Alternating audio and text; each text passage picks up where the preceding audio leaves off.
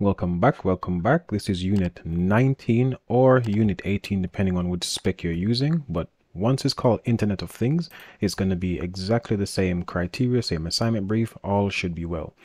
So before I make a start, the first thing I think everyone should do, because people doing this course, doing this unit, are probably people going off to university, the degree apprenticeships, just going off to do some further education thing. One of the things you guys need to start learning how to do, if you haven't done so already, is learning how to lay out your report in a logical way that's very easy to follow, very easy to read. And I don't just mean putting all the text in the right place, I mean having headings where necessary. So you guys are going to hear the term or the phrase styles and formatting quite a bit moving forward.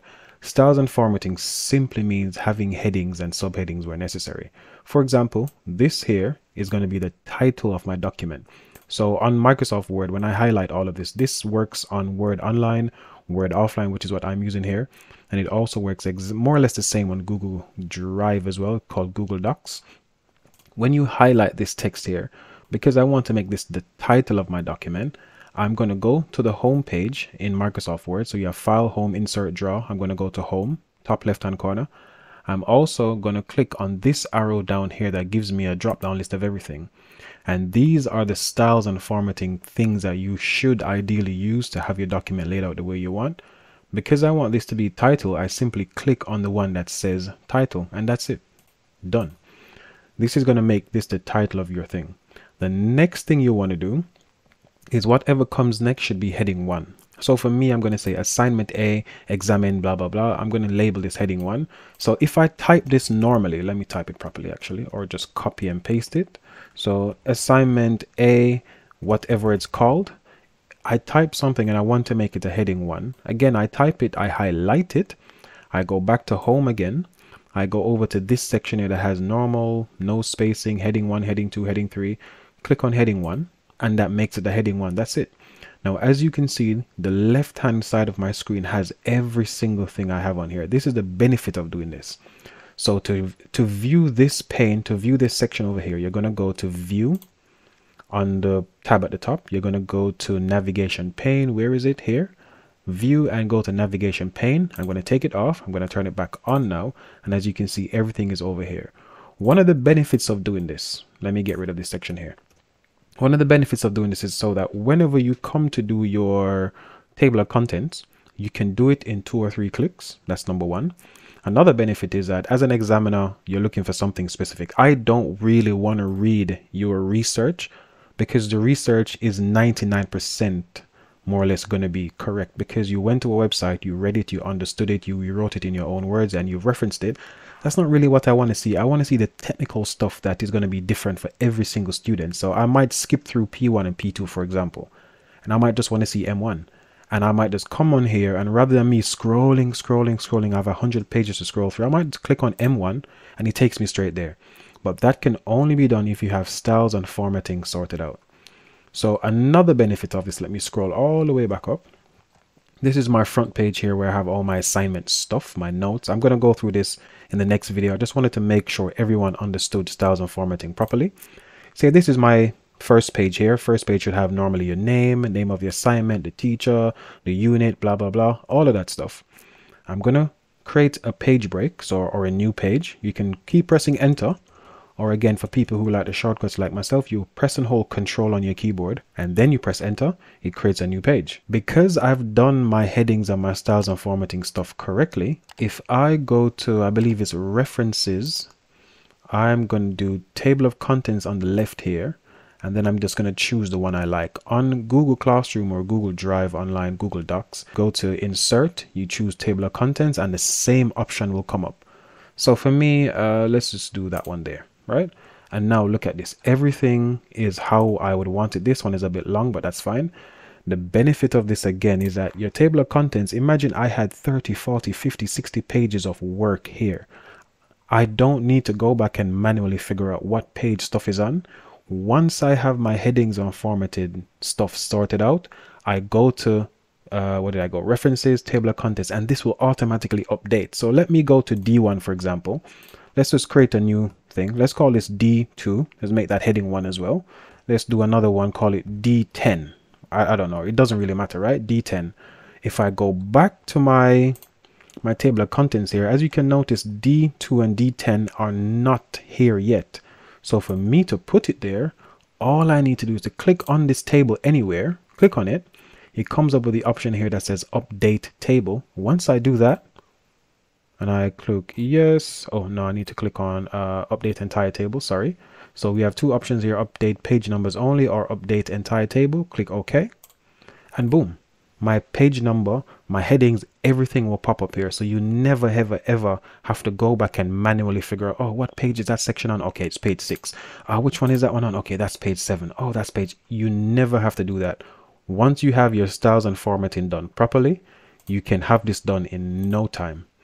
So the last thing I wanted to show you guys before I continue, let's get rid of this quickly. Don't need this stuff here is references. You need to have a references page and references typically is the very last thing on your document.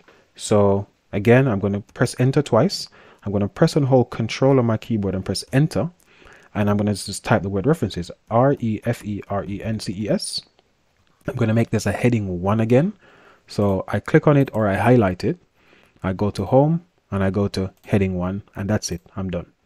Now, under references, there are a couple ways that we can reference. For us IT stroke engineering people, the style of referencing that we should use is called I triple E, IEEE.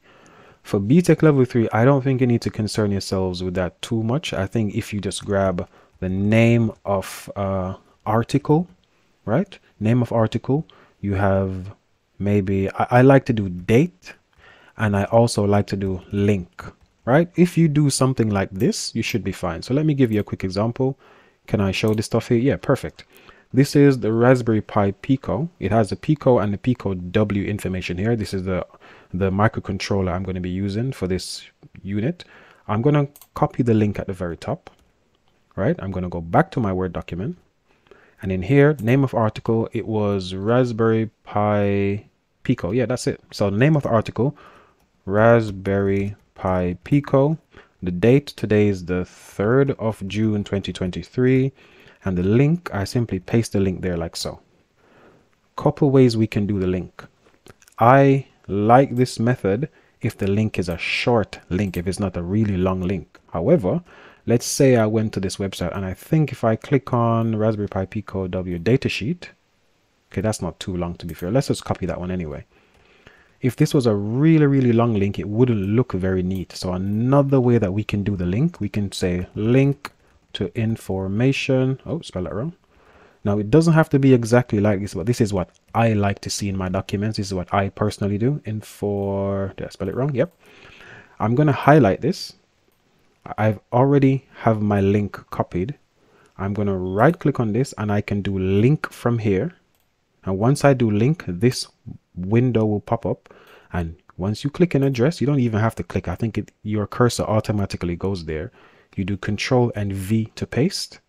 Or you could just right click and choose paste and it will just go there as well. Yep.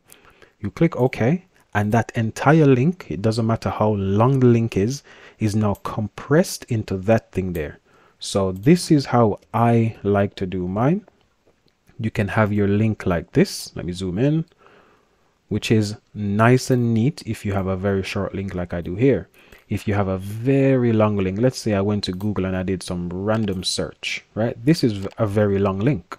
If I went back to my document and I pasted that link, that's how it would look. Not very neat, but it's okay, but it's not very nice to see. Or I can simply have it like this, where all the user has to do is click on this link and it will take them exactly to the same website, the same information, same everything. When you export this as a PDF, they don't have to press control and click on it. They can just click on it straight away. So these are just a few admin things that I think people should know when doing reports in general.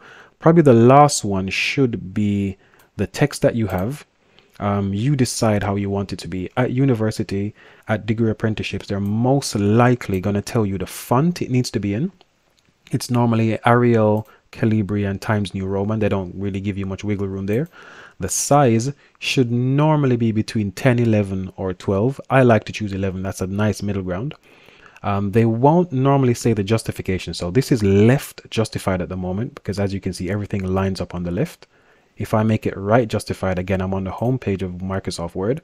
I click uh, right justified is that one or align right, sorry. Click on that, it lines up to the right. People normally only do this for addresses at the very top of um, letters. They don't normally use it in typical documents. You could do center as well, not very nice in my opinion. Or the one I prefer is called justify. So this just makes everything line up on both ends. It doesn't really matter which one you choose. Your university lecturers, when they issue assignments, they will specify what needs to be done. So you don't actually get to choose too much. I like justify and the way you can make sure that everything you type moving forward has this same setting black text uh, text is justified on both sides size is 11 at the top where you have home again you're going to have your normal text because this is the average of the normal text that we type. You can right click on it and what you can do is click on update normal to match selection. All that means is that because you've highlighted that section, you fixed that section is perfect, it's the way you want it. Once you click update normal to match to match selection, every text in the document that is of the same type, which is normal text, is going to be updated. The heading one stuff, the heading two stuff, the heading three stuff is not ever going to be touched. So I would probably just do update and see everything else that I've typed later on is also fixed last part I promise. I know this is a bit long-winded, but this is going to be the last section. We've spoken about heading one. We've spoken about title at the very top. We need to speak about subheadings as well. So heading one is the is the topmost hierarchy of headings, right? It's the top dog. But under that, as you can see on my left hand side of my screen, the navigation pane, I have different sections that actually indent under heading one. These are just heading two. So let's say my thing is assignment A, examine da da da da, and I want to speak about the scenario. I copy the scenario from the assignment brief. I would label this heading 2 because it still comes under this section. So to make it heading 2, I type the word scenario. So let's do that again. S-C-E-N-A-R-I-O. Type the word scenario. I can just click on it or I can highlight the text. And then once I click on, again, home page or home in Microsoft Word, and I go to where it says heading 2, I click on this, it updates this text here looks different and also the navigation pane has an extra thing. So let's call that scenario. Let's call this uh, part a. I have heading one which is that top one there. I have heading two which is the subheading of the top one. What if i need to have a subheading of heading two?